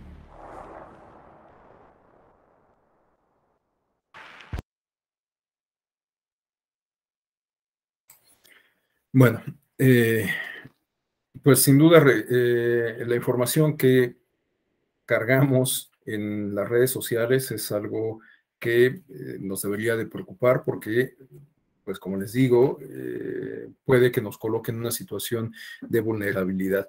Sin duda, en la era de la información, pues lo que más, lo más valioso, lo que más vale es justamente la información y la mayoría de las ocasiones todas y todos la damos absolutamente gratis, ¿no? Incluso sin proponérnoslo. Entonces, bueno, pues son algunas de las, de las reflexiones que quisiera yo o que quise yo compartir con ustedes. Y eh, bueno, pues eh, estamos ya sobre la hora, pero igual no sé si alguien desea hacer algún comentario de cierre, alguna conclusión. Si no, eh, bueno, pues no me resta entonces más que agradecerles su, atención. Eh, muchas gracias por dedicarme estas primeras dos horas de la mañana. Y bueno, pues nos vemos, no recuerdo si la próxima semana o en un par de semanas, con esas sesiones sobre educación cívica y eh, nuevas tecnologías. Hasta entonces, me despido, les deseo un muy buen día. Muchas gracias, que estén muy bien. Muchas gracias, maestro. Hasta luego, maestro. Gracias. Hasta luego, maestro. Gracias a ustedes. Gracias, Lupita. De nada, maestro. Hasta luego. Buena tarde a todos. Hasta luego, maestro. Hasta luego, gracias.